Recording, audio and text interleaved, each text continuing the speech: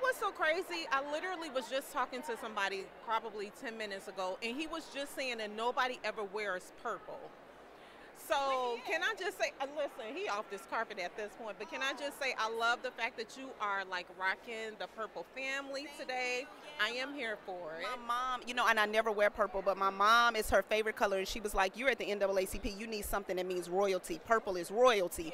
And my mom, that's her favorite color. It's her school colors. So I was like, "Got you." And this just came, and I said, "Oh, this is great." About Diarra in Detroit yes. and the project that you know you've worked on.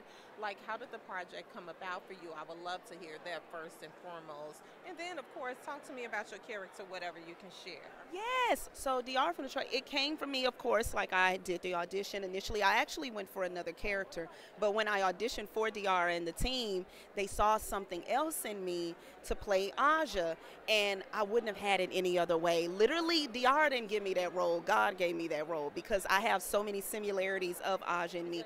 And after that, it was just smooth sailing. I, and I knew that was when I was like, oh, I was meant to be this role. Aja is that girl. She is from Detroit. She is Detroit's 35 under 35. She's a salon owner. She stands on business. She stays in designer. She is Diarra's best friend.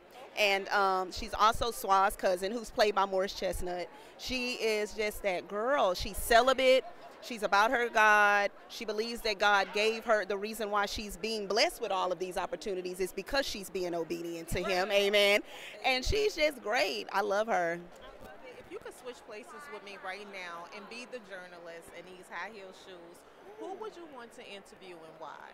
Oh, um, I would love to interview Regina Hall. I think she's great because I really think that I, I, it's such a compliment. Um, Jak Knight, who I was on the show Bust Down with, that was on Peacock. Um, we did one season, and sadly, he took his own life. But before he did, he tweeted, um, no, he did an Instagram story about me, and he said Dominique Perry is the next Regina Hall.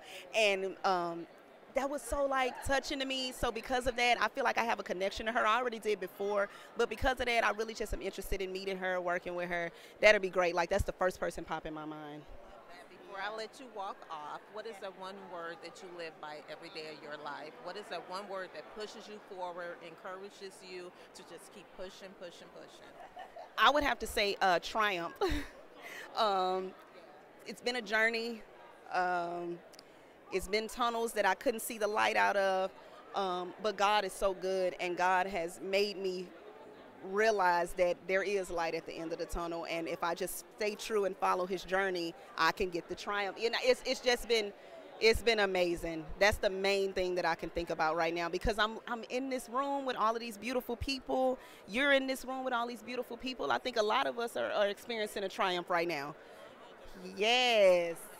Well, thank you so much, Dominique. You look stunning. Thank Let's you, have some fun too. tonight. Oh, it's pink and purple. That used to be my favorite colors. Yes, you look so pretty. Thank you. Bye, Dominique. Thank Bye. you so much. Thank you. Thank you.